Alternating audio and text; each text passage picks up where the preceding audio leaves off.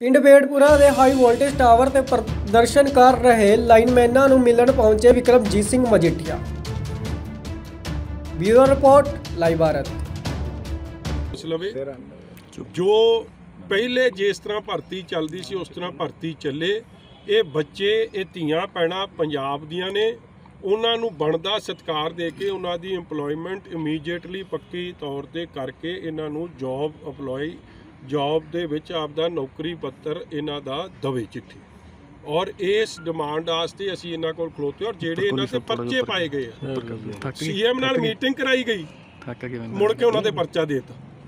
ਤੇ ਫਿਰ ਮੀਟਿੰਗ ਕਾਦੀ ਸੀਐਮ ਸਾਹਿਬ ਨੂੰ ਕੋਈ ਮਿਲਣ ਜਾਵੇ ਉਹਨਾਂ ਤੇ 17 ਜਣਿਆਂ ਤੇ ਮੈਨੂੰ ਦੱਸ ਰਹੇ ਆ ਜਿਨ੍ਹਾਂ ਤੇ ਪਰਚਾ ਦੇ ਦਿੱਤਾ ਗਿਆ ਬਾਈ ਨੇਮ ਉਹ ਐਫ ਆਈ ਆਰ ਵਾਪਸ ਹੋਵੇ। 80 90 ਤੇ ਵਿਦਆਊਟ ਨੇਮ ਦੇ ਤਾਂ ਉਹ ਕੰਮ ਵਾਪਸ ਹੋਵੇ। ਜਿਨ੍ਹਾਂ ਜਿਸ ਨੇ ਧਰਨਾ ਦੇ ਰਹੇ ਸੀ, ਇਹ ਰਾਸ਼ਟਰੀ ਝੰਡੇ ਨੂੰ ਨੈਸ਼ਨਲ ਫਲੈਗ ਨੂੰ ਸਤਿਕਾਰ ਵਜੋਂ ਕਿ ਅਸੀਂ ਡੈਮੋਕ੍ਰੈਟਿਕ ਤਰੀਕੇ ਨਾਲ, ਲੋਕਤੰਤਰ ਤਰੀਕੇ ਨਾਲ ਆਪਦੀ ਗੱਲ ਰੱਖਣ ਜਾ ਰਹੇ ਹਾਂ, ਪੁਲਿਸ ਨੇ ਇਹਨਾਂ ਦਾ ਝੰਡਾ ਖੋ ਕੇ ਹੱਥ 'ਚੋਂ ਉਹ ਝੰਡਾ ਫਾੜਿਆ। ਉਹ ਜਿਹਨੇ ਇਹ ਕਾਰਵਾਈ ਕੀਤੀ, ਉਹਦੇ ਖਿਲਾਫ ਕਾਰਵਾਈ ਹੋਵੇ।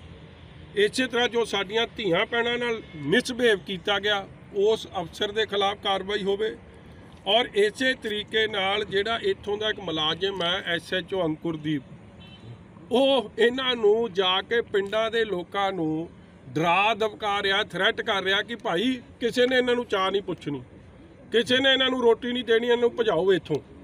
ਇਹ ਜਿਹਾ ਕੋਈ ਅਫਸਰ ਗਲਤੀ ਕਰੂਗਾ ਤੇ ਅਸੀਂ ਸਮੁੱਚੀ ਪਾਰਟੀ ਆ ਕੇ ਆਪ ਇੱਥੇ ਕੈਂਪ ਕਰਾਂਗੇ, ਇਹਨਾਂ ਦੇ ਨਾਲ ਡਟ ਕੇ ਲੜਾਈ ਲੜਾਂਗੇ, ਮਗਰ ਮੈਂ ਆਸ ਕਰਦਾ ਕਿ ਪ੍ਰਸ਼ਾਸਨ ਇਹਨਾਂ ਦੀ ਲੋਕਤੰਤਰ ਤਰੀਕੇ ਨਾਲ ਜੋ ਮੰਗਾਂ ਇਹ ਰੱਖ ਰਹੇ ਆ, ਉਹਦੇ ਵਿੱਚ ਰੋੜਾ ਨਹੀਂ ਬਣੂਗੀ ਇਹਨਾਂ ਦੀ ਮੰਗਾਂ ਮਨਾਉਣ ਦੇ ਵਿੱਚ ਜਾਊਗੀ ਪੁਲਿਸ ਵਾਲਿਆਂ ਨੂੰ ਇਹ ਮੇਰੀ ਰਿਕੁਐਸਟ ਮਜੀਠੀਆ ਸਾਹਿਬ ਵਿਧਾਇਕ ਵਿਧਾਇਕ ਉਰੇ ਪਹੁੰਚ ਨਹੀਂ ਰਹੇ ਆਮ ਆਦਮੀ ਪਾਰਟੀ ਦੇ ਮਨਸ਼ਾ ਕੀ ਲੱਗਦੀ ਹੈ ਸਰਕਾਰ ਦੀ? ਫਿਰ ਜਿਵੇਂ ਇਹ ਪ੍ਰਦਰਸ਼ਨ ਹੋ ਰਹੇ ਨੇ ਜੀ ਪੰਜਾਬ 'ਚ। ਝੂਠ ਬੋਲਦਾ ਲੋਕੀ ਠੱਗ ਲੈ ਮਨਸ਼ਾ ਕੀ ਹੈ? ਉਹ ਤਾਂ ਵਿਕਾਊ ਮਾਲ ਹੈ ਤੁਸੀਂ ਆਪ ਹੀ ਦੱਸਦੇ ਆ। ਦੇਖੋ ਅੱਜ ਤੱਕ ਨਹੀਂ ਕਦੇ ਹੋਇਆ। ਰਿਕਾਰਡ ਕੱਢ ਲਓ ਅਖਬਾਰਾਂ ਫਰੋਲ ਲਓ। ਕਦੇ ਇਹ ਖਬਰ ਨਹੀਂ ਸੁਣੀ ਹੋਣੀ ਕਿ ਐਮਐਲਏ ਵਿਕਾਊ ਸੀ। ਇੱਕ ਨੇ ਪਹਿਲਾਂ 25 25 ਕਰੋੜ ਰੁਪਈਆ ਆਪਦਾ ਦੱਸਿਆ ਕਿ ਸਾਨੂੰ ਇੱਕ ਤੁਹਾਡੇ ਵਾਲਾ ਪਟਿਆਲੇ ਵਾਲਾ ਪਠਾਨ ਵਜੇ 100 ਕਰੋੜ ਹੀ 100 ਦੱਸਦਾ। ਕਰੋੜ ਕੀ ਮੈਂ ਤਾਂ ਜਿਹੜਾ ਆਫਰ ਆਈ ਹੋਣੀ ਹੈ ਜੀ? ਹਾਂਜੀ। ਆਫਰ ਆਈ ਪਤਾ ਨਹੀਂ ਜੀ ਮੈਂ ਗੱਪ ਲੱਗਦੀ ਹੈ ਜੀ। ਮੈਨੂੰ ਲੱਗਦਾ ਉਹ ਬੰਦੇ ਦਾ ਚੈੱਕਅਪ ਹੋਣਾ ਚਾਹੀਦਾ ਜਿਹੜਾ ਉਹਨੂੰ 100 ਕਰੋੜ ਦੀ ਆਫਰ ਦੇ ਰਿਹਾ। ਗੱਪ ਮਾਰ ਮੈਨੂੰ ਦਾ ਨਹੀਂ ਤੁਸੀਂ ਉਹ ਛੱਡੋ। ਗੱਪ ਕੇਸ ਹੱਦ ਕੇਸ ਕੇਸ ਦੇ ਉੱਤੇ ਗੱਪ ਮਾਰਿਆ ਜਾ ਰਿਹਾ। ਕੇਸ ਕੀ ਪੰਜਾਬੀ ਬਕਾਊ ਆ? ਜੇ ਇਹ ਤੁਹਾਡੀ ਇੱਜ਼ਤ ਦੀ ਗੱਲ ਹੈ ਤੁਹਾਡੇ ਸਵੈਮਾਨ ਦੀ ਗੱਲ ਹੈ ਇਹ ਪੰਜਾਬੀ ਉਹ ਨੇ ਜਿਹੜੇ ਮਰ ਮਿਟ ਜਾਂਦੇ ਜ਼ਬਾਨ ਦੇ ਕੇ। ਪੰਜਾਬੀ ਆਪ ਦਾ ਮਾਰਸ਼ਲ ਕੌਮ ਹੈ ਔਰ ਸੇਵਾ ਭਾਵਨਾ ਵਾਲਾ ਕੌਮ ਹੈ। ਉਸ ਕੌਮ ਨੂੰ ਤਾਂ ਆਪ ਵਾਲਿਆਂ ਨੇ ਬਕਾਊ ਬਣਾਉਣ ਦੀ ਕੋਸ਼ਿਸ਼ ਕੀਤੀ ਭਟਕਿਆ ਜਾ ਰਿਹਾ? ਜਿਵੇਂ ਅੱਜ ਲੋੜ ਆ ਮੁਆਵਜ਼ੇ ਦੀ ਕਿਸਾਨਾਂ ਦੀ ਬਾਹ ਫੜਨ ਦੀ ਇਸ ਤਰ੍ਹਾਂ ਦੇ ਮੁੱਦੇ ਭੜਕਾ ਕੇ ਜਿਹੜੇ ਕਿਸ ਤਰ੍ਹਾਂ ਲੱਗਦਾ ਕੰਮ ਕਰਨਾ ਨਹੀਂ ਕੇਜਰੀਵਾਲ ਦਾ ਏਜੰਡਾ ਚਲਾ ਰਿਹਾ। ਕੇਜਰੀਵਾਲ ਸਾਹਿਬ ਨੂੰ ਇਹ ਸ਼ੋਅ ਕਰਨਾ ਹੈ ਕਿ ਭਾਈ ਇਹ ਕੱਲਾ ਹੀ ਇਮਾਨਦਾਰ ਹੈ। ਤੇ ਇਹ ਕੱਲਾ ਹੀ ਖਲੋਤਾ। ਨਹੀਂ ਜੇ ਇਹ ਇਮਾਨਦਾਰੀ ਦੀ ਸਾਰਾ ਗੱਲ ਹੈ। ਡਰਾਮਾ ਮੇਰੀ ਬੇਨਤੀ ਸੁਣੋ ਇਹ ਸਾਰਾ ਡਰਾਮਾ ਜੇ ਕਰਨਾ ਹੈ, ਆਮ ਆਦਮੀ ਪਾਰਟੀ ਆਪਣੇ ਖਜ਼ਾਨੇ ਚੋਂ ਪੈਸੇ ਖਰਚ ਕੇ ਕਰ ਲੂ। ਵਿਧਾਨ ਸਭਾ ਦਾ ਸੈਸ਼ਨ ਸੱਦ ਕੇ 1 ਕਰੋੜ ਰੁਪਏ ਦਾ ਇੱਕ ਦਿਨ ਦਾ ਖਰਚਾ ਹੈ। ਤੇ ਖ- ਉਹ ਖਰਚਾ ਕਿਹਨੇ ਕਰਨਾ? ਇਹਨਾਂ ਦੀ ਜੇਬਾਂ ਚੋਂ ਜਾਣਾ ਤੁਹਾਡੀ ਸਾਰੀਆਂ ਦਾ ਦੂਜੀ ਗੱਲ ਪੰਜਾਬ ਦੀ ਪਵਿੱਤਰ ਵਿਧਾਨ ਸਭਾ 'ਚ ਲੋਕਾਂ ਦੇ ਮੁੱਦੇ ਇਹ ਯੂਨੀਅਨਾਂ ਦੇ ਮੁੱਦੇ ਅਪ੍ਰੈਂਟਿਸ ਯੂਨੀਅਨ ਦੇ ਮੁੱਦੇ ਪੀਟੀਆਈ ਦੇ ਮੁੱਦੇ ਹੱਲ ਹੋਣ ਕਿਸਾਨੀ ਦੇ ਮੁੱਦੇ ਮੁਲਾਜ਼ਮਾਂ ਦੇ ਮੁੱਦੇ ਉਹ ਹੱਲ ਹੋਣ ਤੇ ਗੱਲ ਚੰਗੀ ਹੈ ਮਗਰ ਕੇਜਰੀਵਾਲ ਸਾਹਿਬ ਦੀ ਪੋਲਿਟਿਕਸ ਵਾਸਤੇ ਤਾਂ ਨਹੀਂ ਉਹ ਸਦਨ ਬਣਿਆ ਪਵਿੱਤਰ ਸਦਨ। ਇਹ ਅਫਸੋਸ ਦੀ ਗੱਲ ਹੈ ਕਿ ਇਸ ਤਰੀਕੇ ਨਾਲ ਇਹ ਸਦਨ ਦੀ ਦੁਰਵਰਤੋਂ ਹੋ ਰਹੀ ਹੈ ਮੈਂ ਡਿਮਾਂਡ ਕੀਤੀ ਹੈ ਪਹਿਲਾਂ ਵੀ ਕੀਤੀ ਹੈ ਦੇਖੋ ਲੋਕਤੰਤਰ ਤੋਂ ਉੱਤੇ ਕੋਈ ਚੀਜ਼ ਨਹੀਂ। ਤੇ ਜੇ ਕੋਈ ਐਮਐਲਏ ਕਵੇ ਮੈਨੂੰ 100 ਕਰੋੜ ਦਾ ਆਫਰ ਹੋਇਆ ਉਹਨਾਂ ਨੂੰ ਪੁੱਛੋ ਕਿਹੜੇ ਨੰਬਰ ਤੋਂ ਆਇਆ ਤੁਹਾਨੂੰ ਨੰਬਰ ਨਹੀਂ ਲਿਖਾ ਸਕਦਾ। ਮੈਂ ਐਫ ਆਈ ਆਰ ਪੜ੍ਹੀ ਆ। ਅੱਜ ਹਾਲ ਵੇਖ ਲਓ ਆਈ ਆਰ ਦਰਜ ਕਰਾਉਣ ਵਾਸਤੇ ਕੌਣ ਗਿਆ ਹਰਪਾਲ ਚੀਮਾ ਸਾਹਿਬ। 14 9 ਨੂੰ ਹਰਪਾਲ ਚੀਮਾ ਸਾਹਿਬ ਪੰਜਾਬ ਦੇ ਡੀਜੀਪੀ ਕੋਲ 10 ਐਮਐਲਏ ਲੈ ਕੇ ਸ਼ਿਕਾਇਤ ਦੇ ਕੇ ਆਉਂਦੇ ਆ। ਅੱਜ ਕਿੰਨੀ ਤਰੀਕ ਹੋ ਗਈ? ਵਾਧੂ ਹੈ 28 ਤਰੀਕ ਹੋ ਗਈ। ਕਿੰਨੇ ਦਿਨ ਬੀਤ ਗਏ? 14 ਦਿਨਾਂ 'ਚ ਜੇ ਫਾਈਨੈਂਸ ਮਿਨਿਸਟਰ ਦੀ ਦਰਖਾਸਤ ਦਾ ਇਹ ਹਾਲ ਹੈ ਤੇ ਤੁਹਾਡੇ ਭਾਈ ਕੀ ਬਣੂ ਲੋਕਾਂ ਦਾ? ਉਹੀ ਪਿੱਟਦੇ ਆ। Partap Singh Bajwa law and order ਦੀ ਗੱਲ ਪਿੱਟਦੇ ਆ ਕਿ ਕੀ ਬਣੂ ਦੁਨੀਆ ਦਾ ਸਧਾਰਨ ਲੋਕਾਂ ਦਾ ਕੀ ਬਣੂ? ਜੇ ਫਾਈਨੈਂਸ ਮਿਨਿਸਟਰ ਦੀ ਦਰਖਾਸਤ ਦਾ ਇਹ ਹਾਲ ਹੈ ਤੇ ਆਮ ਲੋਕਾਂ ਦੀ ਸੁਣਵਾਈ ਕਿੱਥੇ ਹੋਣੀ ਆ? ਕੀ ਲਾਅ ਐਂਡ ਆਰਡਰ ਏਡਾ ਨਿਕੰਮਾ ਹੋ ਗਿਆ ਆਪਦੀ ਸਰਕਾਰ ਨੇ 42 ਗੱਡੀਆਂ ਦੀ ਲੀਡਰ ਦਾ ਹੱਥ ਹੈ ਉਹਦਾ ਮੂੰਹ ਚਿਹਰਾ ਨੰਗਾ ਹੋਵੇ ਜੇ ਇਹ ਝੂਠ ਬੋਲਦੇ ਆ ਤੇ ਇਹਨਾਂ ਤੇ ਕਾਰਵਾਈ ਹੋਵੇ ਲੋਕਾਂ ਦੇ ਖਜ਼ਾਨੇ ਦੀ ਦੁਰਵਰਤੋਂ ਆਪਦੀ ਛੋਟੀ ਸਿਆਸਤ ਲਈ ਨਹੀਂ ਕੀਤੀ ਜਿਹੜੇ ਸਾਹਿਬ ਕਹਿ ਰਹੇ ਸੀ ਤੁਹਾਡੀ ਜਿੱਤੇ ਤੁਹਾਡੀ ਇੱਕ ਫਰੰਟ ਬਣ ਰਿਹਾ ਜੀ ਥਰਡ ਆ ਫਰੰਟ ਇੱਕ ਮਿੰਟ ਸੁਣ ਲਿਆ ਸੁਣ ਲਓ ਤੁਹਾਡੇ ਮਤੇ ਤੁਹਾਡੇ ਜੇਬ ਚੋਂ ਕੱਢ ਰਹੇ ਆ। ਅੱਛਾ 42 42 ਗੱਡੀਆਂ ਸੀਐਮ ਸਿਕਿਉਰਿਟੀ ਵਿੱਚ ਲਗਾਈਆਂ ਬਾਦਲ ਸਾਹਿਬ ਵੇਲੇ 33 ਗੱਡੀਆਂ ਸੀ। ਇਹਨਾਂ ਨੇ ਸਵਾਲ ਚੱਕਿਆ ਸੀ ਵੀ ਸੁਰੱਖਿਆ ਬਹੁਤ ਜ਼ਿਆਦਾ ਬਾਦਲ ਕੋਲ। ਬਾਦਲ ਸਾਹਿਬ ਵੇਲੇ ਜਦੋਂ ਭਗਵੰਤ ਮਾਨ ਜੀ ਰੌਲਾ ਪਾਉਂਦੇ ਸੀ 33 ਗੱਡੀਆਂ ਸੀ ਅੱਜ ਆਰਟੀਆਈ ਦਾ ਰਿਕਾਰਡ ਬੋਲਦਾ। ਉਹ ਜਿਹੜਾ ਛੱਲਾ ਭੱਜ ਗਿਆ ਦੇਸ਼ ਛੱਡ ਕੇ ਕੈਪਟਨ ਸਾਹਿਬ ਨੇ ਵੀ ਨਹੀਂ ਵਧਾਈ, ਛੱਲੇ ਨੇ ਵਧਾਤੀ, ਜਿਹਨੂੰ ਕਹਿੰਦਾ ਸੀ ਇਹ 2 ਕਰੋੜ ਦੀ ਗੱਡੀ ਆ। ਇਹ ਤਾਂ ਕਮਰੇ ਜਿੰਦੀ ਆ, ਜਿੱਡੀ ਗੱਡੀ, ਨਾਲੇ ਵਧਾ ਲੀਆਂ ਨਾਲੇ ਹੋਰ ਲੈ ਲੀਆਂ ਲੋਕਾਂ ਨੂੰ ਮੂਰਖ ਬਣਾਈ ਗਿਆ, ਹੁਣ ਛੱਲਾ ਮੁੜਦਾ ਨਹੀਂ ਚੰਨੀ ਉੱਥੋਂ। ਪਹਿਲੀ ਵਾਰੀ ਹੋਇਆ, ਸ਼ਾਇਦ ਮੁੱਖ ਮੰਤਰੀ ਫਰਾਰ ਹੋ ਗਿਆ। ਦੋਵੇਂ ਸੀਟਾਂ ਵੀ ਹਾਰ ਗਿਆ। ਹੁਣ ਜਿਹੜਾ ਆਮ ਆਦਮੀ ਪਾਰਟੀ ਕਹਿੰਦਾ ਆਪਦੇ ਆਪ ਨੂੰ ਸਧਾਰਨ ਬੰਦਾ ਸਿਕਿਉਰਿਟੀ ਵੀ ਡਬਲ ਬਾਦਲ ਸਾਹਿਬ ਕੋਲ ਇੱਕ ਘਰ ਸੀ, ਇਹਦੇ ਕੋਲ ਪੰਜ ਹੋ ਗਏ।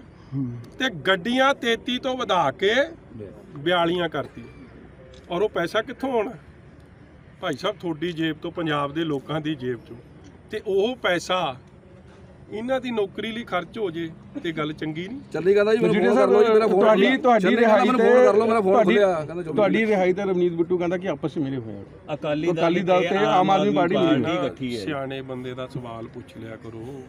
ਪ੍ਰਤਾਪ ਬਾਜਵੇ ਬਾਰੇ ਦੱਸੋ ਜੀ ਤੁਸੀਂ ਪ੍ਰਤਾਪ ਬਾਜਵਾ ਬਹੁਤ ਹਮਲੇ ਕਰ ਰਹੇ ਰਵਨੀਤ ਬਿੱਟੂ ਬਾਰੇ ਦੱਸ ਦਿਓ ਜੀ ਨਹੀਂ ਤੁਹਾਨੂੰ ਬੰਦਾ ਸਿਆਣਾ ਲੱਭਦਾ ਨਹੀਂ ਰਵਨੀਤ ਬਿੱਟੂ ਕਹਿ ਰਹੀ ਹੈ ਐਫ ਆਈ ਆਰ ਉਹਨੂੰ ਪਹਿਲਾਂ ਕੋ ਉਹਨੂੰ ਉਹ ਸਿਆਣੇ ਬੰਦੇ ਨੂੰ ਵੈਸੇ ਤਾਂ ਉਹਦੀ ਅਕਲ ਇੰਨੀ ਉਹ ਖੁਸ਼ ਬੜਾ ਵੈਸੇ ਤੁਹਾਨੂੰ ਮੈਂ ਦੱਸਾਂ ਆਸ਼ੂ ਦੇ ਅੰਦਰ ਜਾਏਦਾ। ਆਸ਼ੂ ਦੇ ਅੰਦਰ ਜਾਣ ਦਾ ਅੱਧੇ ਤੋਂ ਵੱਧ ਪ੍ਰਬੰਧ ਪ੍ਰਵਨੀਤ ਬਿੱਟੂ ਦਾ ਹੀ ਆ ਨਹੀਂ ਤਾਂ ਉਹਨੂੰ ਸ਼ਾਇਦ ਪੁਲਿਸ ਨੇ ਐਡੀ ਕਾਰਵਾਈ ਨਹੀਂ ਕਰਨੀ ਉਹ ਤਾਂ ਖੁਸ਼ੀ ਮਨਾਉਣ ਗਿਆ। ਉਹਨੂੰ ਪੁੱਛਿਓ ਅੰਦਰ ਗਿਆ ਤੇ ਫਿਰ ਸਿੱਧੂ ਨੂੰ ਨਹੀਂ ਮਿਲ ਕੇ ਆਇਆ। ਸਿੱਧੂ ਨੇ ਮੂੰਹ ਅੱਛਾ ਜੀ। ਹਾਂ ਫਿਰ ਮਿਲਿਆ ਨਹੀਂ ਨਾ। ਵਜੀਟੇ ਸਾਹਿਬ ਰੱਖ ਲਿਆ ਜੀ ਉਹਨੇ? ਉਹ ਉਹ ਉਹ ਵੀ ਨਹੀਂ ਮਿਲ ਕੇ ਰਾਜੀ ਹੈ ਜੀ ਇਹਨੂੰ। ਇਹ ਇਹ ਇਹ ਆਪ ਚੱਲਿਆ ਆਪ ਦੀ ਪਾਰਟੀ ਭਾਜਪਾ ਪੂਜਪਾ ਚ ਮੈਨੂੰ ਲੱਗਦਾ ਇਹਨੇ ਭੱਜ ਜਾਣਾ। ਇਹਦੀਆਂ ਗੱਲਾਂ ਦਾ ਬਾਲਾ ਤਵੱਜੋ ਨਾ ਦਿਆ ਕਰੋ ਇਹ ਕੀ ਬੋਲ ਰਿਹਾ।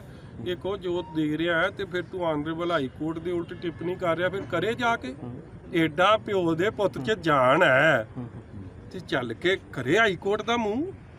ਐਵੇਂ ਫਜ਼ੂਲ ਦੀਆਂ ਫੋਕੀ ਗੱਲਾਂ ਦਾ ਫਾਇਦਾ ਕੋਈ ਨਹੀਂ ਮਗਰ ਅੱਜ ਦਾ ਮੁੱਦਾ ਕੋਈ ਨਹੀਂ। ਇਮਾਨਦਾਰੀ ਦੀ ਗੱਲ ਕਰਦੇ ਆ ਇੱਕ ਪਾਸੇ ਸਿੰਗਲਾ ਨੂੰ ਇੱਕ ਪਾਸੇ ਸਿੰਗਲੇ ਨੂੰ ਅੰਦਰ ਕਰਾਤਾ ਫਿਰ ਉਹ ਦੁਆਰਾ ਵੀ ਆਮ ਆਦਮੀ ਪਾਰਟੀ ਦੀਆਂ ਸਭਾਵਾਂ ਦੇ ਵਿੱਚ ਮਿਲਦਾ। ਸਿੰਗਲਾ ਦੇ ਮਾਮਲੇ 'ਚ ਮੈਂ ਸਪਸ਼ਟ ਪ੍ਰੈਸ ਕਾਨਫਰੰਸ ਕਰਕੇ ਕਹਿਤੀ ਕਿ ਇਹੀ ਅਸਲੀ ਚਿਹਰਾ ਹੈ ਆਪ ਦਾ। ਜੀ। ਜੀ ਦੇ ਖਿਲਾਫ ਇਹਨਾਂ ਨੇ ਆਪ ਦੇ ਵਜ਼ੀਰ ਖਿਲਾਫ ਪਰਚਾ ਦਰਜ ਕਰਾਇਆ। ਐਡਾ ਰੌਲਾ ਪਾਇਆ ਭਗਵੰਤ ਮਾਨ ਜੀ ਕਹਿੰਦੇ ਮੈਂ ਆਪ ਆਡੀਓ ਸੁਣੀ। ਜੀ। ਉਹ ਆਡੀਓ ਸੁਣਨ ਤੇ ਬਾਅਦ ਉਹ ਤੇ ਪਰਚਾ ਕਰਾ ਕੇ ਅਰੈਸਟ ਕਰਾਇਆ। ਅੱਜ ਉਹੀ ਸਿੰਗਲਾ। ਸਸੋਦੀਏ ਨਾਲ ਕੇਜਰੀਵਾਲ ਨਾਲ ਹਰ ਪ੍ਰੋਗਰਾਮ 'ਚ ਬੈਠਿਆ ਹੁੰਦਾ। ਮਤਲਬ ਕਿ ਭਗਵੰਤ ਮਾਨ ਇੱਕ ਹੋਰ ਝੂਠ ਬੋਲ ਰਿਹਾ ਸੀ ਤੁਹਾਨੂੰ।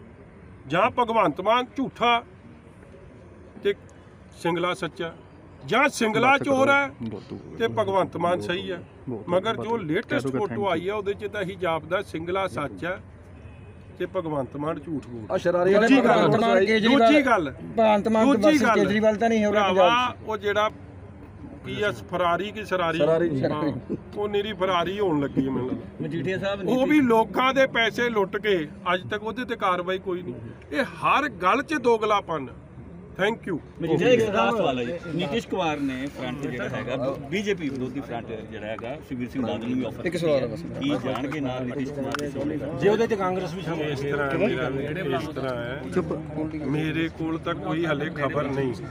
ਮਗਰ ਜਿਸ ਫਰੰਟ 'ਚ ਵੀ ਕਾਂਗਰਸ ਹੈ ਉਸ ਫਰੰਟ ਦਾ ਹਿੱਸਾ ਸ਼੍ਰੋਮਣੀ ਅਕਾਲੀ ਦਲ ਕਦੇ ਵੀ ਨਹੀਂ ਠੀਕ ਥੈਂਕ ਯੂ ਸਰ ਇੱਕ ਗੋਲਡੀ ਕੰਬੋਰਾ ਭਤੀਜਾ ਵੀ ਉੱਪਰ ਗੋਲਡੀ ਕਮੋਲਾ ਭਤੀਜਾ ਕਿਹੜਾ ਭਾਈ? ਭਾਂਜਾ ਕਿਹੜਾ? ਉਹ ਖੜਾ ਜੀ ਉਹ? ਹਾਂਜੀ। ਵੇਖ ਲਓ ਇਹ ਤੋਂ ਸ਼ਰਮਸਾਰ ਗੱਲ ਕੀ ਆ? ਬੋਲ ਤੇਰਾ ਨਾਮ ਕੀ ਆ? ਰਮੇਸ਼ ਹੈ ਜੀ। ਰਮੇਸ਼ ਕੁਮਾਰ। ਇਹ ਤੋਂ ਸ਼ਰਮਸਾਰ ਗੱਲ ਕੀ ਹੋ ਸਕਦੀ ਹੈ ਕਿ ਆਪ ਐਮਐਲਏ ਦਾ ਰਿਸ਼ਤੇਦਾਰ ਹੁਣ ਉਹਨੇ ਭਾਵੇਂ ਡਿਨਾਈ ਕਰ ਦੇਣਾ ਕਿ ਮੇਰੀ ਰਿਸ਼ਤੇਦਾਰੀ ਕੋਈ ਨਹੀਂ। ਮਗਰ ਵੋਟਾਂ ਤੋਂ ਪਹਿਲਾਂ ਭਾਵੇਂ ਇਹਦੇ ਕੋਲ ਇਹਦੀ ਮਾਤਾ ਕੋਲ ਹੀ ਗਿਆ ਹੋਵੇ ਕਿ ਮੈਨੂੰ ਵੋਟ ਪਾ ਦੇ। ਹੁਣ ਅੱਜ ਡਿਨਾਈ ਕਰ ਦੂ ਕਿ ਮੇਰਾ ਤਾਂ ਇਹ ਜਿਹਾ ਕੋਈ ਭਾਂਜਾ ਨਹੀਂ ਮਗਰ ਇਹ ਹਾਲਾਤ ਨੇ ਸਰਕਾਰ ਦੇ ਅਸਲੀ। ਬਸ ਠੀਕ ਹੈ ਜੀ। ਇਹ ਕੰਪੇਨਿੰਗ ਤੇ ਸੀ ਉਹਦੀ। ਠੀਕ ਹੈ ਜੀ। ਆਪ ਨੇ ਕੈਲੰਡਰ ਵਿਕਰਮ ਮਜੀਠੀਆ ਜਿਹੜੇ ਆ ਬਰੇਜਗਰ ਲਾਈਨਮੈਨਾਂ ਨੂੰ ਹੌਸਲਾ ਅਫਜ਼ਾਈ ਕਰਨ ਲਈ ਇੱਥੇ ਪਹੁੰਚਦੇ ਆ ਤੇ ਸਰਕਾਰ ਦੀ ਕਾਰਗੁਜ਼ਾਰੀ ਨੂੰ ਕਿਸ ਤਰ੍ਹਾਂ ਵੇਖਦੇ ਦੇਖੋ ਮੈਂ ਦੱਸਣਾ ਚਾਹੁੰਦਾ ਕਿ ਪੰਜਾਬ 'ਚ ਜਦੋਂ ਵੀ ਸਰਕਾਰ ਬਣਦੀ ਹੈ ਤਾਂ ਨੌਜਵਾਨਾਂ ਦੀ ਵੋਟਾਂ ਨਾਲ ਹੀ ਪੰਜਾਬ ਦੀ ਸਰਕਾਰ ਬਣ ਕੇ ਆਈ ਹੈ। 7 ਦੀ 12 17 ਦੀ ਚਾਹੇ 22 ਦੀ ਹੋਵੇ। ਪੰਜਾਬ ਦੇ ਨੌਜਵਾਨਾਂ ਨਾਲ ਸਭ ਤੋਂ ਵੱਡੇ ਵਾਅਦੇ ਕਰਕੇ ਬਹੁਮਤ ਲਿਆਉਣ ਵਾਲੇ ਬਹੁਤ ਦੇਣ ਵਾਲੇ ਮੁੱਖ ਮੰਤਰੀ ਭਗਵੰਤ ਮਾਨ ਦੇ ਪਿੰਡ ਦੇ ਅੱਜ 8 ਨੌਜਵਾਨ ਉਹਦੇ ਪਿੰਡ ਦੇ ਟਾਵਰ ਤੇ ਬੈਠੇ ਨੇ ਤੇ ਆਲੇ ਦੁਆਲੇ ਪਿੰਡਾਂ ਦੇ ਘੱਟੋ ਘੱਟ 50 ਨੌਜਵਾਨ ਇਸ ਲਾਈਨਮੈਨਾਂ ਦੇ ਧਰਨੇ 'ਚ, ਜਾਨਲੇਵਾ ਧਰਨੇ 'ਚ ਅੱਜ ਸ਼ਾਮਲ ਨੇ। ਦੱਸਣਾ ਚਾਹੁੰਦਾ ਮੀਡੀਆ ਦੇ ਰਾਹੀਂ ਕਿ ਇੱਕ ਪਾਸੇ ਜੇ ਆਪਾਂ ਕਹਿੰਦੇ ਵਿਕਰਮ ਸਿੰਘ ਮਜੀਠੀਆ ਪੰਜਾਬ ਦੇ ਨੌਜਵਾਨਾਂ ਦੇ ਦਿਲਾਂ ਦੀ ਧੜਕਣ ਹੈ ਉਹਨੇ ਸਾਬਤ ਕੀਤਾ ਹੈ। ਇੱਥੋਂ ਘੱਟੋ ਘੱਟ 200 ਕਿਲੋਮੀਟਰ ਦੂਰ ਵਿਕਰਮ ਸਿੰਘ ਮਜੀਠੀਆ ਦਾ ਮਜੀਠਾ ਹਲਕਾ ਹੈ ਇੱਕ ਫੋਨ ਤੇ ਅੱਜ ਤੇ ਹਾਜ਼ਰ ਹੋਏ तमाम ਲੀਡਰਸ਼ਿਪ ਰਖੜਾ ਸਾਹਿਬ ਜਸਪਾਲ ਸਿੰਘ ਬਿੱਟੂ ਚੱਠਾ ਰਵਿੰਦਰਜੀਤ ਗੋਲਡੀ ਤੇ ਸਾਡੇ ਵਰਗੇ ਯੂਥ ਅਕਾਲੀ ਦਲ ਦੇ ਨੌਜਵਾਨ ਕੇਵਲ ਇਹ ਭਰੋਸਾ ਦਿਵਾਉਣ ਰਾਜਨੀਤੀ ਕਰਨੀ ਆਏ ਕੇਵਲ ਭਰੋਸਾ ਦਿਵਾਉਣ ਆਏ ਆ ਤੇ ਜਗ ਜ਼ਾਹਰ ਕਰਨ ਆਏ ਆ ਕਿ ਕਰੋੜ ਰੁਪਈਆ ਜਾਲੀ ਸੈਸ਼ਨ ਤੇ ਖਰਚਣ ਵਾਲੀ ਸਰਕਾਰ ਨੂੰ ਚਾਹੀਦਾ ਹੈ ਕਿ ਪਹਿਲਾਂ ਬੇਰੁਜ਼ਗਾਰਾਂ ਨੂੰ ਜਾਂ ਤੜੀ ਤੇ ਲੈ ਕੇ ਟਾਵਰ ਤੇ ਚੜੇ ਵੀ ਸਾਡੀ ਧੀਆਂ ਭੈਣਾਂ ਨੂੰ ਕਟਾਈ ਕਰਨ ਨਾਲੋਂ ਉਹਨਾਂ ਨੂੰ ਰੋਜ਼ਗਾਰ ਦੇ ਵਾਅਦੇ ਪੂਰੇ ਕਰਨ ਤੇ ਆਪਣੀ ਆਪਣੀ ਮਨਸ਼ਾ ਸਾਬਤ ਕਰਕੇ ਪੰਜਾਬ ਦੇ ਨੌਜਵਾਨ ਕਰ ਦੇਣ ਕੋਲੇ ਆਪਣੀ ਲਾਈਨਮੈਨਾਂ ਦੀ ਹੋਰ ਬਹੁਤ ਰੱਖੀਆਂ ਜੀ ਮੰਗਾਂ ਸਾਡੀ ਕੋਈ ਸੁਣਵਾਈ ਨਹੀਂ ਹੋਈ। ਪਹਿਲਾਂ ਵੋਟਾਂ ਤੋਂ ਪਹਿਲਾਂ ਮਿਲੇ ਸੀ ਭਗਵੰਤ ਮਾਨ ਸਾਹਿਬ? ਉਹ ਆਪ ਆਉਂਦੇ ਸੀ ਜੀ। ਲੋਕਾਂ 'ਚ ਕਹਿੰਦਾ ਤੁਹਾਡੀ ਸਰਕਾਰ ਹੈ ਜੀ। ਹਾਂ। ਹੁਣ ਹਾਲ ਵੀ ਨਹੀਂ ਪੁੱਛਦੇ ਜੀ ਇੱਥੇ। ਤੇ ਅੱਜ ਉਹ ਤਾਂ ਕਹਿੰਦਾ ਗਰੀਬਾਂ ਦੀ ਸਰਕਾਰ ਹੈ ਤੁਹਾਡੇ ਨਾਲ ਹੈ। ਕਿੰਨੇ ਮੁੰਡੇ ਨੇ ਵੀਰੇ? ਸਤੌਜ ਸਤੌਜ ਪਿੰਡ ਦੇ 8 ਮੁੰਡੇ ਜੀ ਇੱਥੇ। 8 ਮੁੰਡੇ ਨੇ ਹਾਂਜੀ ਹਾਂਜੀ। ਅਮ, ਹ- ਹੁਣ ਕੋਈ ਅਪਰੋਚ ਨਹੀਂ ਕੀਤੀ ਕਿਸੇ ਨੇ? ਕਿਸੇ ਨਹੀਂ ਕੀਤੀ ਜੀ। ਕੀ ਕਹਿਣਾ ਚਾਹੋਗੇ ਸਰਕਾਰ ਨੂੰ? ਕੀ ਕਹਿਣਾ ਚਾਹੁੰਦੇ ਹੋ ਮੁੱਖ ਬਹੁਤ ਮੰਤਰੀ ਨੂੰ? ਮਾੜਾ ਹਾਲ ਹੈ ਜੀ ਤੇ ਅੱਜ ਮਜੀਠੀਆ ਸਾਹਿਬ ਆਏ ਨੇ ਤੁਹਾਨੂੰ ਕੀ ਵਿਸ਼ਵਾਸ ਦਵਾਇਆ? ਤੁਹਾਨੂੰ ਕੀ ਕਹਿਣਾ ਚਾਹੋਗੇ ਇਹਨਾਂ ਨੂੰ ਲੈ ਕੇ?